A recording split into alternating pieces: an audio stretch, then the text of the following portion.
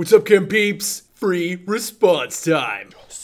A 1.22 gram sample of a pure monoprotic acid HA was dissolved in distilled water. the HA solution was then titrated with 0.250 molar sodium hydroxide. The pH was measured throughout the titration, and the equivalence point was reached when 40.0 milliliters of the sodium hydroxide solution had been added. The data from the titration are recorded in the table below. Boom! Part A. Explain how the data in the table above provide evidence that HA is a weak acid rather than a strong acid. Alright, as we take a look at this data table, I think the easiest way to explain how the data in the table provide evidence that HA is a weak acid is to go to the equivalence point. At the equivalence point, notice that the pH is 8.62 or slightly basic, and that is indicative of a weak acid. The pH at the equivalence point is greater than 7.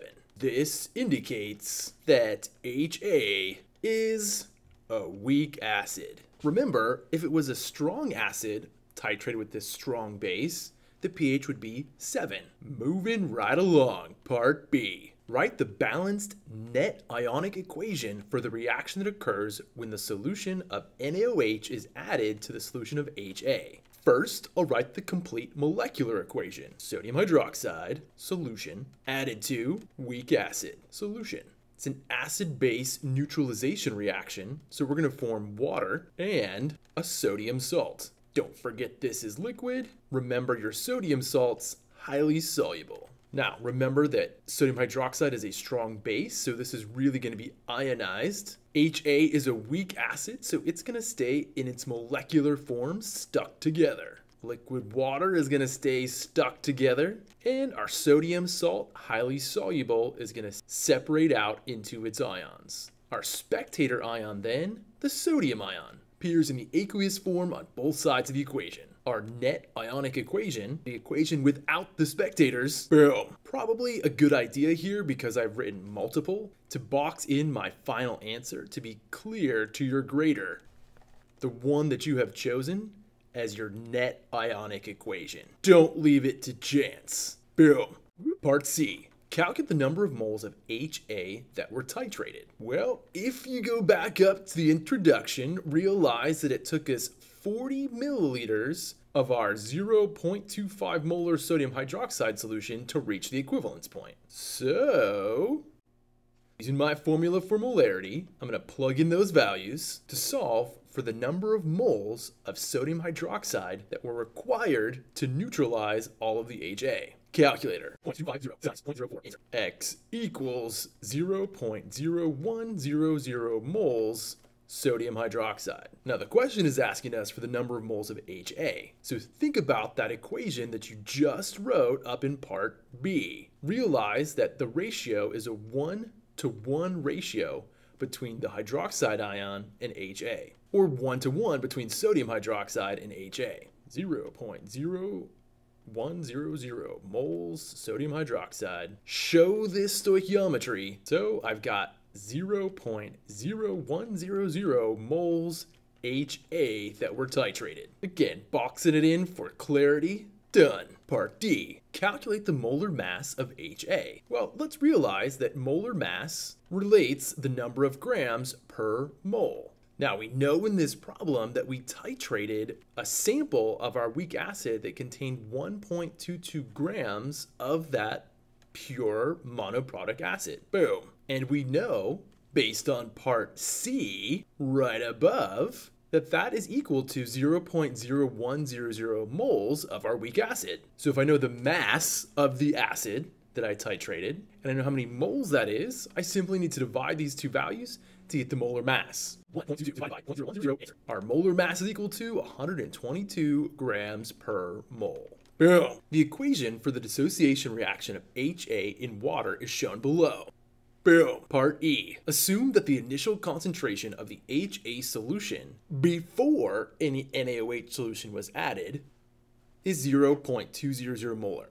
Determine the pH of the initial HA solution. Oh man, pH of the initial HA solution? Well, we know that HA is a weak acid, and if I want the pH of a weak acid solution, you guessed it, ice table time. Yes! I'm gonna rewrite my equation. Boom. Set up my ice table. Boom. We're told the initial concentration is 0.200 molar. Not gonna worry about the water. These will each be zero initially. My change in concentration is going to come based on the stoichiometry, all one to one. Combine initial and change to come up with my equilibrium concentrations. Next, solve for x. To do that, we're going to use our Ka expression.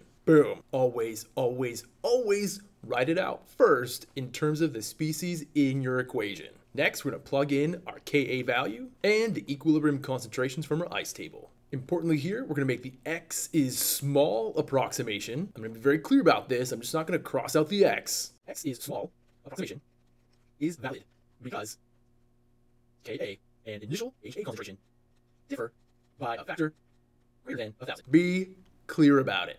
Right, now that is amazing because that will simplify our Ka expression to 6.3 times 10 to the minus 5 equal to x squared over 0.200. Calculator time. Parentheses. 6.3 second e negative 5 close parentheses times 0.2 answer. Second square root second answer answer. x equals 3.5 times 10 to the minus 3 molar. That is our hydronium ion concentration. To solve for the pH, we're just going to take the negative log of our hydronium ion concentration, which we just determined to be 3.5 times 10 to the minus 3. Negative log second answer enter. pH equals 2.45. Boom. Part E was a doozy. Three points. A point for the correct substitution into the Ka expression. This is why it's so important to write your Ka expression in terms of the species in your equation first. Second point came from the correct determination of the hydronium ion concentration, and the third point came for the correct pH. So important as always, show your work. Finally, part F. Calculate the value of hydronium ion concentration in the solution after 30.0 mils of sodium hydroxide solution is added and the total volume of the solution is 80.0 mils. All right, first thing I'm gonna do is I'm gonna rewrite the net ionic equation that I wrote from part B. I'm just gonna drag that down here and use it in part F. Boom. Next, let's take a look at where in the titration this pH calculation is going to occur. If I take a look at my data, recognize that we're trying to solve for the pH here at the point after we've added 30 mils of sodium hydroxide. Recognize that this is before the equivalence point. And so I'm still gonna have some weak acid, but because I've been added strong base, I will also have formed some of my conjugate base of that weak acid. And anytime I've got weak acid and conjugate base, you know what I've got, don't you? A buffer. Oh yeah! All right, so on my way back down, I'm gonna realize here, I'm gonna scroll down to part C and recognize that I started with 0.0100 moles of HA. So I'm gonna start with that in my calculation. Initially, I have 0.0100 moles of HA. If I've added 30 mils of my sodium hydroxide solution, how many moles of sodium hydroxide have I added? We'll take a quick time out. Molarity equals moles over liters the concentration of my sodium hydroxide solution is 0.250. Trying to solve for the number of moles after adding 30 milliliters. Quick trip to my calculator. 0.250 times 0.0300. This means initially I have 0.00750 moles of hydroxide. No water, no A minus. Change, realize the hydroxide is my limiting reactant, which makes sense because I haven't yet reached the equivalence point. This is going to decrease by 0.00750 moles, as will the number of moles of HA. These will increase. And this is not an ice table. This is just a way to keep track of the number of moles in a limiting reactant type situation. So it's not going to be initial change equilibrium. I'm just put initial change final. I'll have 0.0 0.0250 moles HA. No hydroxide, 0.00750 moles water, which I don't really care about, and 0.00750 moles of A minus. Again, the reason why I'm doing this is because at this point in the titration, I have a buffer. And in order to determine the hydronium ion concentration in a buffer situation, I need to use this magical formula. Boom. Now remember, even though this formula relates concentration of weak acid to its conjugate base, we can use the ratio of moles because the volumes will cancel out. This is all happening in the same container.